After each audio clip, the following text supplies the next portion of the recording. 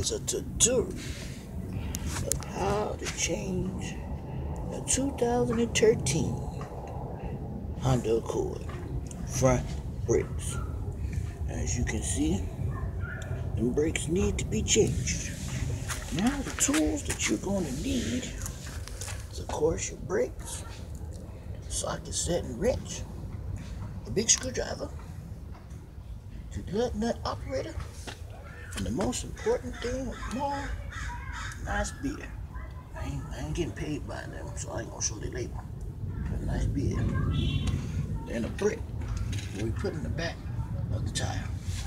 Now, what you want to do is you want to go ahead and get down here on the ground and you want to locate the steel frame of the car so that you can jack this car up so that you can go ahead and do this. Now, as you can see here, all this stuff here is plastic. But right there, right on there, yonder up there, that right there, right there, that's the steel part of the car in the front. And that's where you want to jack it up. That part right there, that's a steel part. That's what you want to find. Let's go ahead and jack this up. Now we done got this car off the ground. We ready to go ahead and get to this brake assembly. Now in my non-professional opinion, this is going to be the greatest brake and tutorial you are ever going to see. And don't forget to take a swig of beer on every step. All right, now, you're going to make sure that you get this tire off and let's see what happens with these, these brakes. Now, what I really forgot to tell you people to do before you go in here and jack this car up, you want to loosen all these lug nuts while the car is on the ground. Just loosen them up so that it'll be easy for you to go ahead and just take these lug nuts off when the car is up in the air. So I'm already loosened it and jacked the car up. So these be very easy for me to just go ahead and just get these lug nuts off. So we went and got the tire off the car. And that's what the the rotor and brake assembly where it looked like. You put the tire underneath the car, you know, just in case the drop, it'll fall right on top of the tire. Old countryman trick. Now, here's another old countryman trick. Now, this is your brake assembly. And as you can see, there's a hose line here that attaches to the bottom or the top middle of the brake line. So the nut you want to take off will be the one at the bottom. This one here. And this is going to swing this whole assembly part upward. Okay? You're going to take off the bottom nut to swing the whole part upward. But the very first thing you want to do is you turn your steering wheel towards you or to the left. You go ahead and turn that steering wheel all the way to the left. See that? And then that gives you a way better access to your brakes. Now this part right here is very important as well. Because you don't you're not flushing out the system. You don't want to have to put more brake fluid in there. That's where the big screwdriver comes in handy. Your big screwdriver. You want to put that screwdriver inside here. Get over in there. And you're going to take that screwdriver and you're going to go ahead and pry that brake thing back. Get another grip. Pry it on back. Keep doing that until you can get it flush with the um, you get that piston back there. Show you. You get that piston flush with the back of the, um, the caliper so that when you put the new brake pads on they're not going to be too big you know. You gotta push that thing back. So make sure you get it all the way flush. Pull so you can't get it no more. All right. Now you want to go ahead get the right size socket, right size socket on here, which is a 12. And you want to go ahead and you want to go in reverse, and you want to go ahead and take that bottom screw out.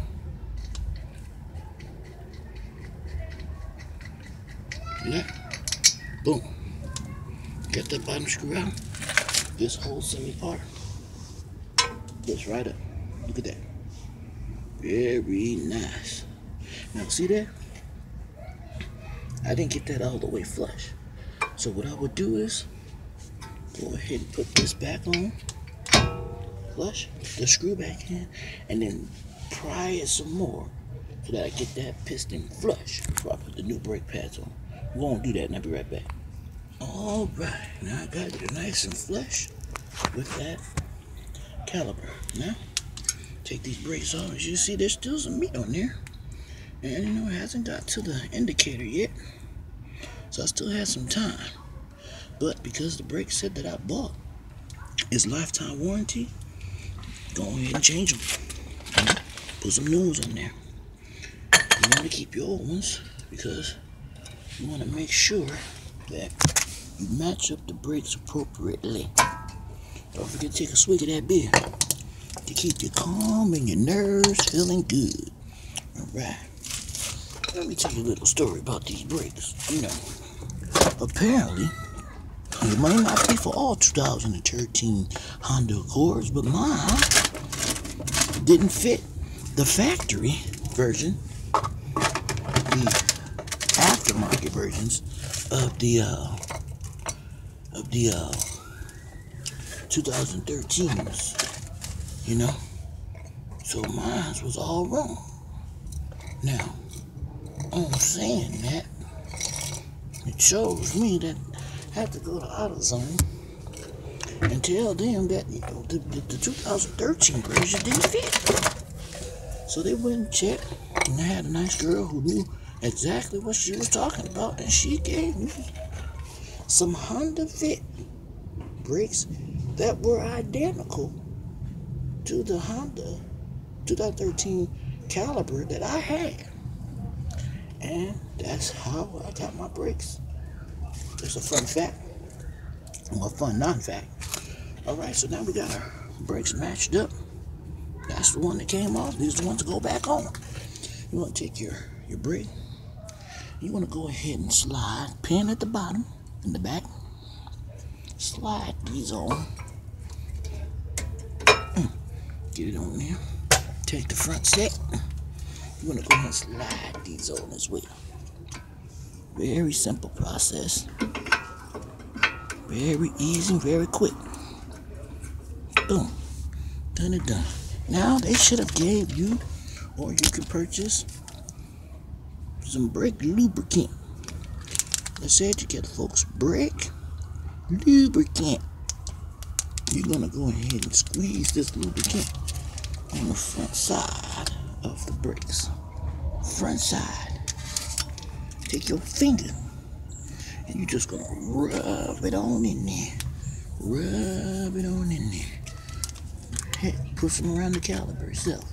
Rub it in there. Put some on the outside. Rub it on the inside.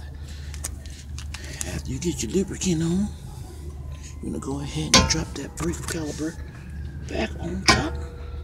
Because you made a flush, it fits right on there. Go on ahead, put that that, that screw back in. Screw it on there. Make sure that you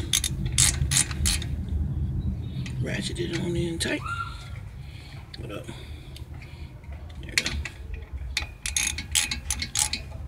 Uh, tight. And then turn it straight, put your wheel back on, and there you go. You just replaced your 2013 Honda Accord brakes with ease. And huh, this video only took 10 minutes. So there you go, folks. In my non-professional opinion, this is the greatest tutorial video you ever gonna see. And this here, I appreciate you watching. don't forget to take a swig of beer to calm your nerves and stop your shaking. And you can be a non-true mechanic like I am. All right, y'all have a great day. You hear?